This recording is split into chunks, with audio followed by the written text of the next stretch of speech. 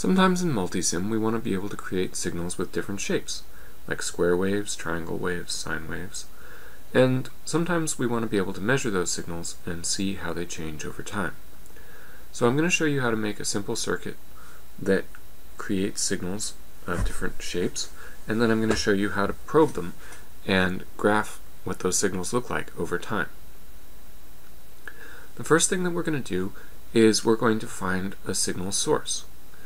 So we can come over here to the sources panel and click on that, and there are several different sources. We are interested in voltage sources, and some of the ones that might be helpful are the AC voltage source, which is another word for a sine wave.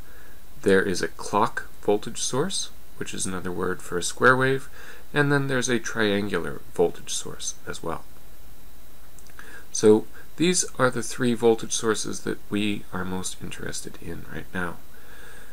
We're going to start with a triangular voltage source. So I'll click on that and then put it down on the canvas there.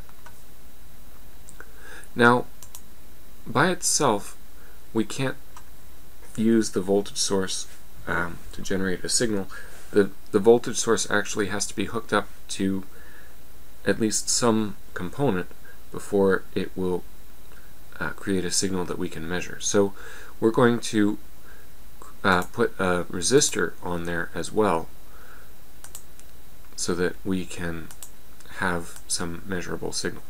So we're just going to hook the voltage source directly to the resistor and then we're going to hook the resistor back to the voltage source. Okay. Now it's also helpful to have a ground on there. So we're going to go to schematic connectors and then choose the ground icon and place it there and then we're going to connect the ground to our circuit like that. So this is a very simple circuit and we can run a simulation but right now we can't really see what's happening in this circuit. We can't see what the voltage is doing or how it's changing over time. So I'm going to stop this circuit and I'm going to place a probe that will allow us to see what's going on. So I'm going to come over here to Analysis and Annotation click here and I'm going to place a voltage probe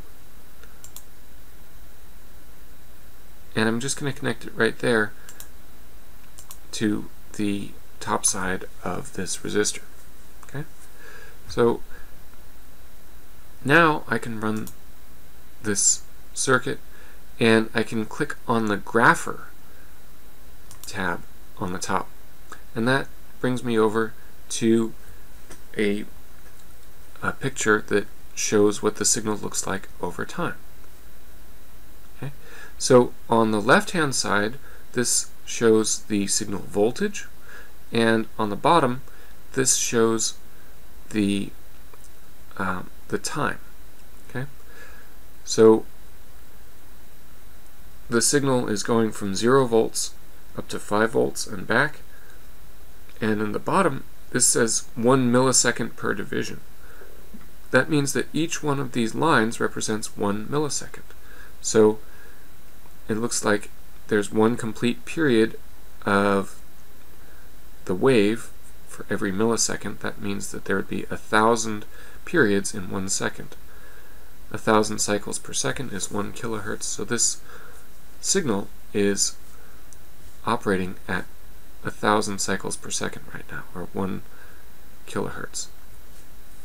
Okay. Right now, over on the right-hand side, we can see that the signal is kind of flickering a little bit.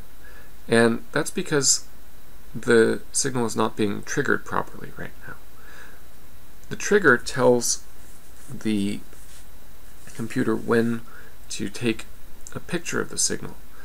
And ideally we'd like to take a picture at the same time every time. So we can come up here um, and apply a trigger. So on the trigger menu we can click down and we can choose a normal trigger.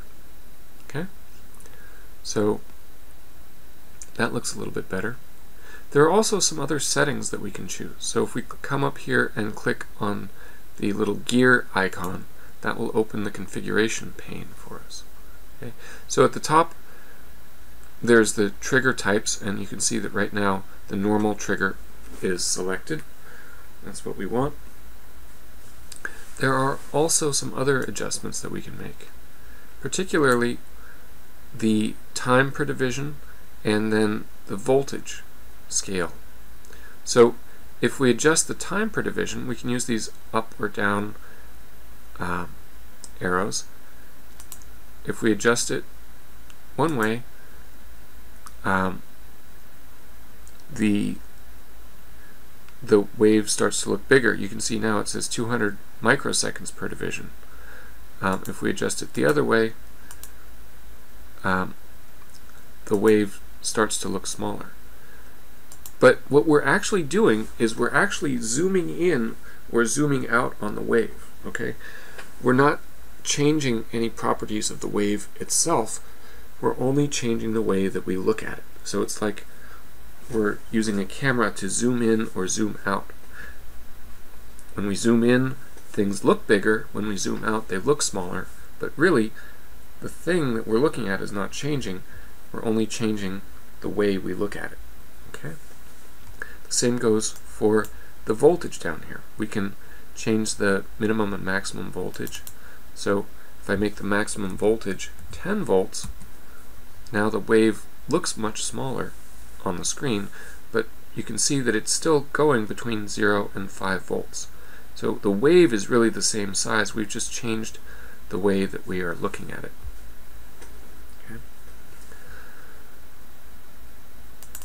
So this allows us to see the wave and see how it changes over time.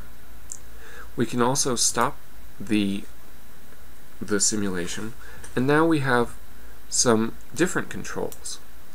Okay, we still have the minimum and maximum voltage settings there, but now for time we have a start time and an end time for our graph.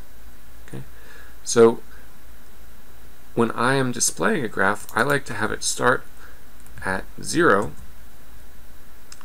and end um, just after one or two periods so that we can see those periods very quick, very clearly.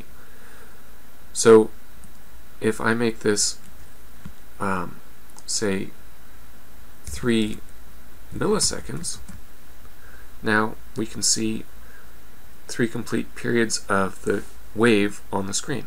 And you can see it starts at time zero now and goes up to three milliseconds. So it's it's easy to see what's happening with the timing there. I might also like to have this wave kind of centered on the screen.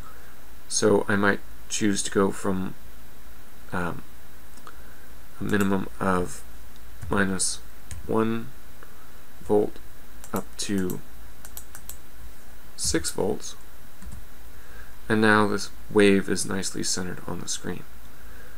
Okay. Once you have a signal that looks nice, you might want to save that picture of that signal so that you can use it later on or come back to it and refer to it later. There's an easy way to do that. You can come up here and click on the export button in the top right hand corner of the screen. And we can choose to export the grapher image. And when we do that, you can see that we've downloaded a picture here. And I can click on the picture so we can see what it looks like. You can see it's a nice clear picture of what we have on the graph. And then I can come back and use that picture later on if I want to write a report or just refer back to it and remember what I was looking at.